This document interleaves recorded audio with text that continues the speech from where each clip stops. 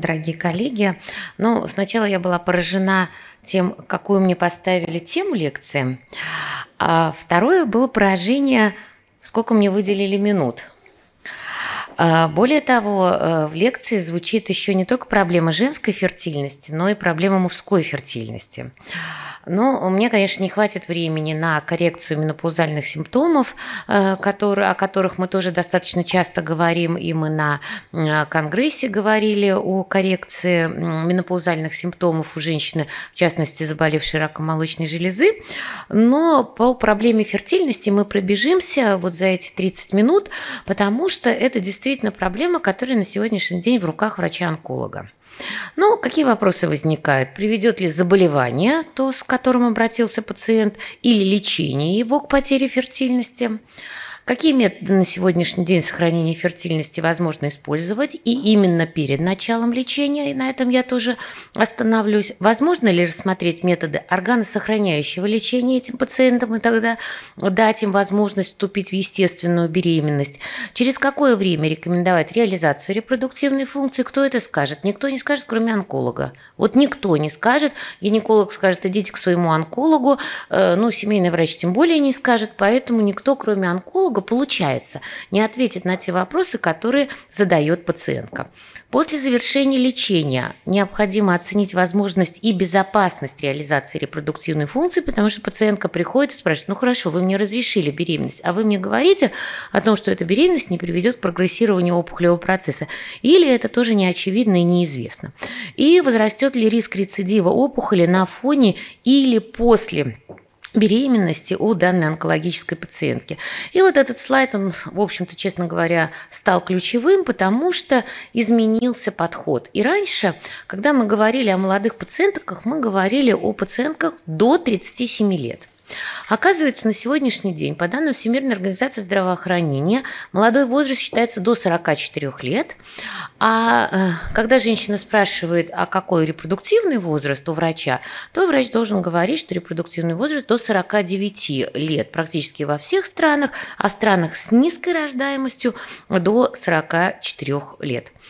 Э, таким образом, диагнозы с риском потери фертильности известны. Это рак молочной железы, лимфопролиферативные заболевания, подлежащие лекарственной терапии, опухоли шейки матки, эндометрия и э, саркома костей мягких тканей. И на сегодняшний день ну, такая актуализация, она, наверное, не очень э, значима, но, в общем, количество пациентов репродуктивного возраста составляет 726 тысяч на сегодняшний день, если говорить о том, что это 5% всего контингента онкологических больных. 2006 год, сейчас 24 то есть практически 20 лет назад, было американским обществом клинической онкологии, были э, опубликованы рекомендации по э, сохранению фертильности у онкологических пациентов и э, описано то, что при возможности возникновения бесплодия вследствие противоопухолевой терапии у больных репродуктивного возраста онкологу следует, онкологу следует обсуждать все способы сохранения фертильности и при необходимости на направить, естественно, к репродуктологу, если у женщины не в естественном цикле наступает беременность, а если есть признаки бесплодия. Криоконсервация эмбрионов и эякулята у мужчин являются стандартными методами сохранения фертильности в онкологии. Что касается нашей страны, ну, а где написано? Всегда начинаешь задавать вопрос, а где написано, как подстраховать нашего врача. И вот старый приказ 2012 года, 107 о порядке использования вспомогательных репродуктивных технологий, противопоказаниях и ограничениях к применению было указано, что при наличии в анамнезе злокачественного новообразования вопрос о возможности использования методов вспомогательных репродуктивных технологий решается на основании заключения врача-онколога. Врач-онколог не может написать схему контролируемой авариальной стимуляции, но написать, что на сегодняшний день противопоказаний к методам вспомогательных репродуктивных технологий, в том числе КОС или контролируемой авариальной стимуляции нет.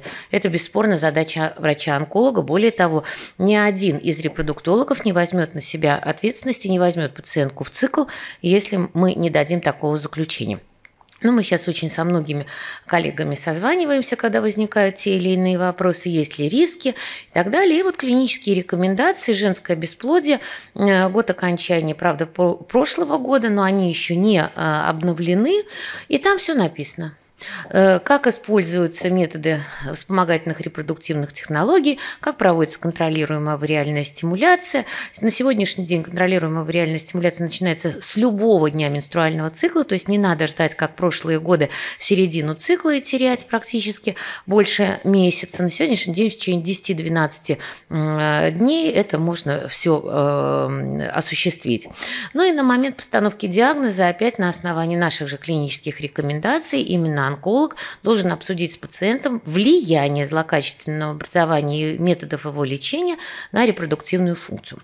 Таким образом, мы должны понимать, что это пациентка, которой можно провести вспомогательные репродуктивные технологии. Мы должны знать диагноз, степень распространения опухолевого процесса, какой тот или иной метод лечения мы ей будем предлагать, прогноз, потому что нам не только надо сохранить, но и надо осуществить реализацию репродуктивной функции, потому что если у женщины четвертая стадия рака желудка, то брать э, э, яйцеклетки или ткани яичника совершенно невозможно, эта пациентка погибнет. Прогноз э, перспективности получения генетического материала, исходя из возраста пациентки, состояния авариального резерва, определение способа получения и консервации – генетического материала, оценка физического состояния и проведение протокола авариальной стимуляции. Таким образом, для женщин, для женщин существует три основных метода сохранения фертильности. Это криоконсервация ооцитов, то есть это яйцеклетка, криоконсервация оплодотворенного ооцита, то есть это уже эмбриончик. А, дальше криоконсервация ткани яичника, которая сегодня уже не является экспериментальным методом. Ну и криоконсервации, конечно же, все проводятся в клиниках вспомогательных репродуктивных технологий. Вот они, рекомендуемые протоколы ВРТ для онкологических пациентов.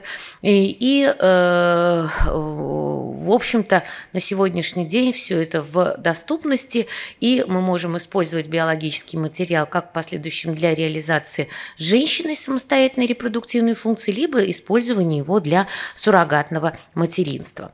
Как донорский материал, материал от онкологических пациентов не используется, это однозначно. Но, вы видите, по американским данным, э, только одна треть онкологических больных обсуждает вообще с врачом э, о возможности иметь собственных детей э, в будущем. Ну и, как правило, мы слышим, а мы слышим, потому что наши пациенты все это передают, зачем вам это надо, это опасно, ваша контролируемая вариальная стимуляция, необходимо срочно начинать лечение, что такое срочно, мы тоже с вами знаем, месяц, два, три ждем. Кто будет воспитывать ваших детей? Для того, чтобы чтобы эти вопросы не задавать, именно врач-онколог может, пони, может э, оценить необходимость и возможность вот в последующем реализации репродуктивной функции. Поэтому молодой возраст раз, возможность эффективного лечения 2, показатели 5 10-20-летней выживаемости ставят вопрос о полноценном качестве жизни онкологических больных, в том числе о сохранении фертильности и реализации репродуктивной функции. В свое время, когда начиналась программа сохранения фертильности у онкологических больных – в общем-то, это было очень сложно. Это было сложно, потому что на амбулаторном этапе никто не хотел этим заниматься. Ну а когда пациенты, уже начав лечение, э, видели информацию о том, что можно было сделать до начала лечения, конечно, кроме негативного, негативной реакции ничего не получалось. Поэтому принятие решения о сохранении способности иметь генетически собственных детей в будущем – это сложный достаточно момент, но он должен быть решен э, до, э, до предстоящей противоопухолевой опухолевой терапии. Три основных метода, которыми мы используем, э, мы используем для лечения онкологического заболевания. Это хирургический, лучевой и цитостатический. И мы быстренько пробежимся, что же делать. И вот для женщин, если предстоит хирургическое лечение и объем планируемого хирургического лечения, включающий авариэктомию, все-таки это является показанием к криоконсервации ооцитов, эмбрионов или ткани яичника. Дальше вот несколько клинических случаев, которые демонстрируют то, что вот пациентке 28 лет был поставлен диагноз новообразования яичника на фоне обследования по поводу бесплодия лапароскопическая резекция правого яичника была проведена в гинекологическом стационаре. При отсутствии и при поступлении в онкологический стационар, конечно, мы пишем подозрение на рак яичника. И э, после нерадикального хирургического лечения в другом лечебном учреждении гистологическое заключение очаги высокодифференцированной пограничной серозной аденокарциномы в грубососочковой цистоденоме и проводится этой женщине повторное хирургическое вмешательство. Хирургическое стадирование, лапароскопия, разъединение спаек, аднексоктомия слева, резекция правого яичника, аментоктомия и цитологическое исследование э, выпада в брюшной полости. Но ни по каким данным э, никаких признаков злокачественности выявлено не было. Пациентка в последующем наблюдалась, наблюдалась в течение 6 лет и приняла решение о том, что она готова для реализации репродуктивной функции. Э, пациентке были назначены комбинированные оральные контрацептивы, потому что она э, первые пять лет не планировала беременность, и сразу после отмены гормональных контрацептивов тоже беременность не наступала в течение года. В связи с ремиссией 6 лет, с уровнем ФСГ 18,2 и уровня АМГ 0,4 пациентки была выполнена попытка ЭКО в модифицированном естественном цикле, и в первом же протоколе наступила беременность, которая протекала абсолютно физиологически и закончилась рождением доношенного ребенка.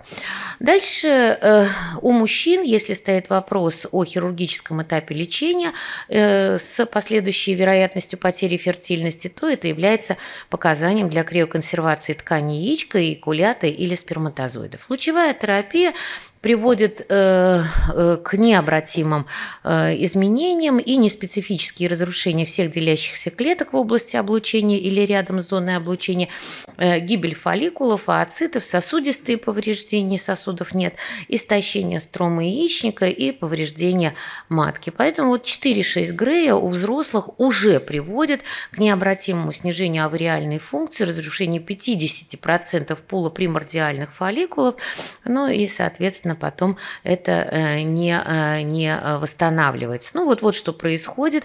И вместо нормального примордиального фолликула в варианте нормы, который э, представлен на верхней картиночке, что происходит после 20 Грея, конечно, это совершенно необратимые вещи. Поэтому что можно сделать? Экранирование не проблема.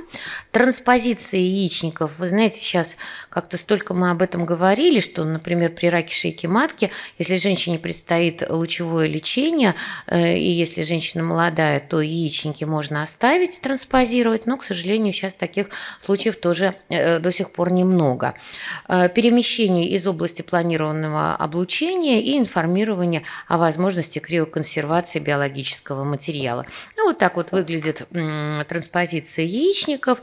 Ну, и такая пациентка вот у нас тоже есть, 80-го года рождения, ей 36 лет было в момент постановки диагноза, 2016 год, то есть это достаточно давно, жалоба на контактные кровянистые выделения из половых путей, плоскоклеточный рак шейки матки Т1, Б1, Н0, М0, и э, была выполнена симультантная операция лапароскопия, транспозиции яичников – резекция яичника с последующей криоконсервацией э, кортекса, лапаротомия и операция Вертгейма Мейкса.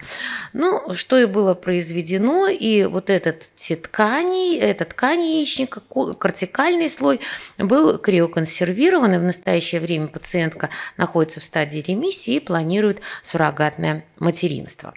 Ну и у мужчин, э, к сожалению, яичко является одним из самых чувствительных органов к лучевой терапии, так как содержит наибольшее количество незрелых клеточных линий. Но разрушается герминогенные эпителий от действия лучей и от рассеивания при облучении под диафрагмальной даже зоны, и происходят цитологические изменения сперматогонии, их числа и формы, олигоспермия, далее 2-3 грея, 2-3 грея, да, то есть одна Доза – достоверное снижение числа сперматид, и 4,6 Грея – это уже достоверное число, число снижения сперматозоидов. Ну и до 2 Грея может быть временная азооспермия, а больше 2 Грея – это уже необратимые изменения. Поэтому есть данные о том, что в ряде случаев у мужчин возможно восстановление сперматогенеза, и это зависит от сохранения пролиферации сперматогоний, но вы видите количество лет, если больше 4 Грея была проведена доза облучения, то более 5 5 лет может потребоваться для того, чтобы восстановить сперматогенез. Поэтому на сегодняшний день тоже есть тестикулярное экранирование и информирование пациента о возможности криоконсервации экулята, сперматозоидов или ткани яичника, тем более, что для мужчин это не представляет никакой сложности. Цитостатическая терапия не вся, не э, во всех случаях, и мы помним вот эту табличку, которая делит все цитостатики на высокий, средний и низкий риск авариальной токсичности, и в зависимости от той схемы химиотерапии, которую мы тоже используем, и в зависимости от возраста пациента мы видим на развитие временной аминореи. Ну, то же самая история с примордиальным фолликулом, вот он в норме, и вот разрушение после пяти циклов, это уже, конечно, необратимые э, разрушения. Что касается временной подавления функции яичников, то агонисты, антагонисты гонотропин релизинг гормона оказывают все-таки защитное действие на фолликулогенез, независимо от того, что существуют разные, э, разные исследования. Э, через 3-8 месяцев 3 раза чаще наблюдается восстановление менструального цикла и в 2,5 раза чаще восстанавливается овуляторный даже цикл. Поэтому вот вы видите достаточно большое исследование, которое в ряде случаев подвергается критике. Ну, мы можем критиковать все, что угодно, но восстановление менструального цикла в 89% случаев против 33% без назначения агонистов гонотропин релизинг гормона и восстановление овуляции в 70% против 25% – это, конечно, значимые вещи. Если женщина планирует э, реализацию репродуктивной функции и ей планируется химиотерапия, то ей нужно начать химиотерапевтическое лечение сначала с введения агонистов гонотропин релизинг гормона, и это уже было опубликовано в 2015 году. Авариальная супрессия может сочетаться с методами криоконсервации тканей яичников, ооцитов и эмбрионов с целью увеличения вероятности сохранения фертильности. Ну и Европейская ассоциация медицинских онкологов тоже говорит о том, что это А задача онколога, и Б, конечно, те молодые пациенты, которые имеют хороший прогноз, они должны быть информированы и направлены к репродуктологам. Ну, вы помните, этот постер 2017 года по поводу женщин раком молочной железы, гормон-рецептор позитивный, которые, если реализовали репродуктивную функцию, то у них э, снижается шанс смерти на 42%. Поэтому две задачи. Одна задача онколога – информировать о тех или иных вероятностях потери возможности иметь собственных детей в будущем э, и о современных возможностях сохранения фертильности. Но это может быть э, какими-то такими общими, конечно, фразами, и задача репродуктолога – выбор наиболее оптимального метода сохранения фертильности. Ну и что касается влияния цитостатической терапии на потерю фертильности у мужчин, пришлось мне это все искать и э, э, э, включать в лекцию. Восстановление возможно до нормы зооспермии в течение 1-3 лет, и это зависит от э, выживания и способности к дифференцировке э, пула вот, э, сперматогониальных клеток. Поэтому, конечно, э, исследования небольшие, исследования старые, исследования на стандартных цитостатиках и вероятность обнаружения сперматозоидов после биопсии яичка при высоких уровнях фолликулостимулирующего гормона описана. И при низкой концентрации сперматозоидов в эякуляте возможно оплодотворение методом ИКСИ, интрацитоплазматической инъекции сперматозоида. И в 2012 году, в общем-то, было доказано, что при методике ИКСИ э, у нас частота беременности составляет 45%. При отсутствии сперматозоидов после биопсии яичка и неэффективности консервативного лечения ставится вопрос только о донорской сперме. Ну вот такие методы сохранения фертильности на сегодняшний день являются стандартом. Обязательно проводится контролируемая авариальная стимуляция. Можно проводить забор в естественном цикле, если у женщины цикл сохранен, но получить ооцит можно только один или в лучшем случае два э, в естественном цикле, но один из которых будет 100% незрелый. Если проводить контролируемую авариальную стимуляцию, то мы можем полноценных ооцитов получить от 10 до 20 с лишним в течение одного цикла. Поэтому если делать, то делать хорошо, плохо само получится, и надо делать контролируемую вариальную стимуляцию для того, чтобы сохранить фертильность так, как положено, а не для галочки. Криоконсервация ткани яичника – это просто лапароскопия, не требует никакой подготовки, отрезается кортекс яичника, и тоненькие такие пласты, они подвергаются замораживанию и хранятся. Поэтому для каждого метода есть преимущества и недостатки. Для криоконсервации ткани яичника мы должны понимать, что у женщины полноценной останется, полноценной останется область фосса аварика, и, и соответственно, мы туда можем имплантировать э, ткань яичника после разморозки. Если такой возможности нет, э, имплантировать в плечо, в бедро и так далее, в подкожно-жировую клетчатку на сегодняшний день считается неэффективным, потому что сразу снижается э, и уменьшается кровопот... э, крово... кровоснабжение этих кусочков. Ну и вот за последние годы значительно увеличивается число циклов индукции овуляции для криоконсервации и в исследовании позитив, э, которое было опубликовано опубликовано, вы прекрасно знаете, был проведен повторный анализ тех пациентов, которым все-таки использовали методы вспомогательной репродуктивной технологии. Стимуляция яичника, контролируемая вариальная стимуляция. У женщины гормонный рецептор позитивным раком молочной железы не увеличивает риски рецидива, однако вспомогательные репродуктивные технологии ассоциировались с более высокой вероятностью наступления беременности. А все, что мы делаем, мы делаем только ради реализации репродуктивной функций. Поэтому и в данном исследовании, в повторном анализе было это продемонстрировано. Золотым стандартом все-таки является сохранение фертильности онкологических больным криоконсервации эмбрионов. Однако, если у женщины нет партнера, мы криоконсервируем ооциты. Если у женщины есть партнер, то на сегодняшний день в мире целесообразно криоконсервировать и ооциты, и эмбрионы. Потому что если что-то пойдет не так, женщина останется без биологического материала, и в этом случае сделать будет ничего нельзя, потому что мужчина отказывается от того, чтобы женщина использовала ее биологический материал, если он ее бросает. Поэтому сегодня лучше этот вопрос все-таки обсуждать на берегу и говорить о том, что нам нужно понимание, что если вдруг какая-то ситуация, чтобы у женщины остался свой биологический генетический материал. Особенности авариальной стимуляции, высокий уровень эстрадиола, отсрочка якобы начала лечения, но я сказала, что мы сегодня можем начинать с любого дня, ну и вопросы противопоказаний. И я хочу сказать, что на сегодняшний день все написано, какие препараты, ингибиторы ароматазы, гонотропин-релизинг гормоны и так далее, и ничего абсолютно с точки зрения увеличивающего риски развития рецидива или снижения эффективности лечения этих пациентов, которым проводится контролируемая вариальная стимуляция с гормоном рецептор позитивным, негативным, раком молочной железы, других нозологий никакой проблемы абсолютно нет. Более того, у этих женщин был проведен а, анализ 80 пациентов, у которых был гормон-рецептор позитивный, даже в 26% случаев HER2 позитивный рак молочной железы, без метастатического поражения лимфатических узлов, и было доказано, что отсутствует ухудшение прогноза рака молочной железы. А ответ у этих женщин на контролируемую авариальную стимуляцию, то есть какой смысл делать, если мы получим худший ответ, если мы не получим такого же количества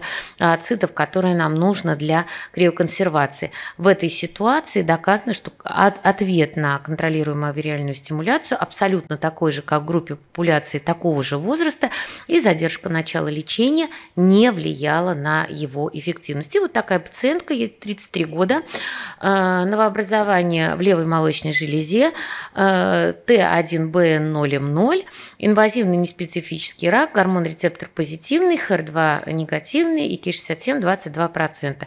И никто ей не сказал в 2021 году о том, что можно использовать методы вспомогательных репродуктивных технологий, и она обратилась уже после проведения радикальной секторальной резекции молочной железы. Никаких проблем в этом нет, и раз она уже обратилась, то мы прекрасно понимаем, что никакой статической терапии выполнено не было, и э, пациентка была взята на контролируемую авариальную стимуляцию – было получено 11 ацитов э, и, соответственно, дальше начато лечение.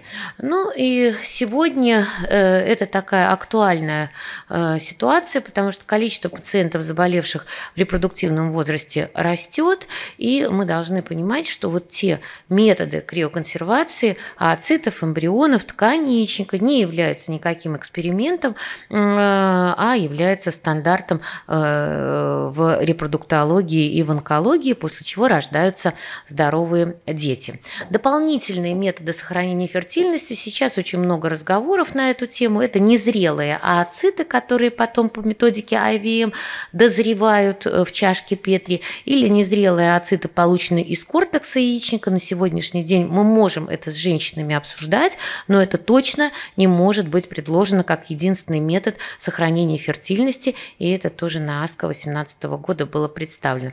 Проблема эта разрабатывается. И э, внедряются будущие новые методы сохранения фертильности, вопросы синтезирования искусственного яичника э, и э, потенциально новые гонадозащитные средства и многие препараты, которые могут быть использованы для повышения выживаемости после имплантации. Однако до сих пор в мире существует проблема, что отсутствует достаточный опыт и система продвижения, низкий уровень признания в обществе и среди медицинского медицинского персонала, зачем вам это надо, отсутствие сотрудничества с педиатрами, отсутствие междисциплинарного подхода и отсутствие информации, видео и специальных ресурсов. Поэтому витрификация ацитов, криоконсервация эмбрионов и тканей яичника являются востребованными методами сохранения фертильности у онкологических пациентов. Необходимо информировать, а для мужчин криоконсервация эякулята или ткани яичка. Сроки наступления беременности, если у женщины частичная ремиссия заболевания. Здесь нужно рассматривать э, два момента, наверное. Первый момент – это, конечно, однозначно э, после гормонотерапии, не раньше, чем через три месяца женщине можно разрешить э, реализацию репродуктивной функции. А если пациентка получала лекарственную статическую терапию, то не раньше, чем через год. Почему? Не потому, что у нее риски рецидива могут быть, а потому, что у них частота преждевременных родов у этих женщин значительно выше, чем в популяции. Поэтому Поэтому вот гормонотерапия и э, химиотерапия имеют абсолютно четкие рекомендации по последующим э, реализации репродуктивной функции. Ну и последнее, буквально меня осталось три минутки, это возможности реализации репродуктивной функции с использованием органосохраняющего лечения. К сожалению, у нас тоже плохо с органосохраняющим лечением. Нам бы лучше отрезать, э, чем оставить женщину на органосохраняющем лечении. Но это жизнь, поэтому у нас есть возможность лечения органосохраняющей рака эндометрия.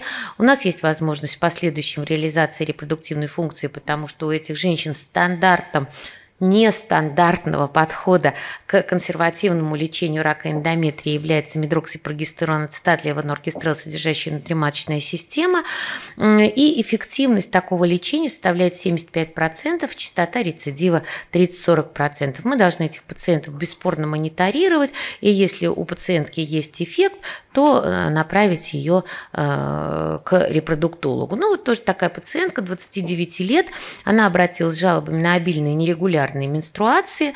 Э, был установлен диагноз рак эндометрия первой А стадии, первичное бесплодие и рекомендованы агонисты гонотропин-релизинг гормона и внутриматочная левоноргистрел, содержащая внутриматочная система Мирена в течение 6 месяцев. Ну, дальше каждые 3 месяца был контроль вот, и проведен протокол на фоне левонорогистрела, то есть тогда, когда в полости матки стоит мирена, ничего страшного, можно делать контролируемую вариальную стимуляцию, вообще никаких проблем нет.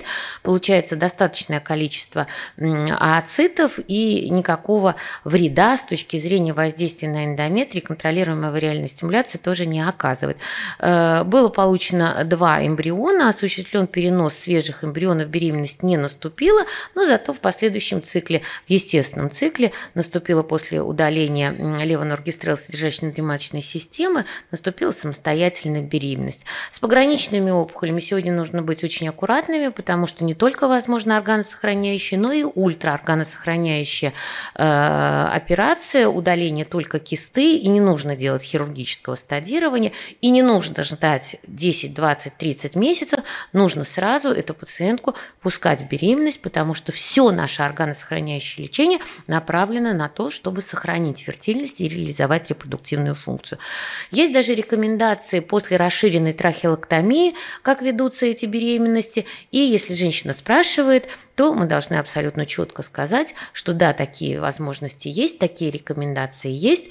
Необходимо, конечно, использовать те или иные э, методы циркляжа, но во всяком случае это на сегодняшний день допустимо. Поэтому необходимо бесспорно взвешивать и при отсутствии риски, и при их отсутствии не препятствовать как реализации репродуктивной функции, так и сохранению биологического материала.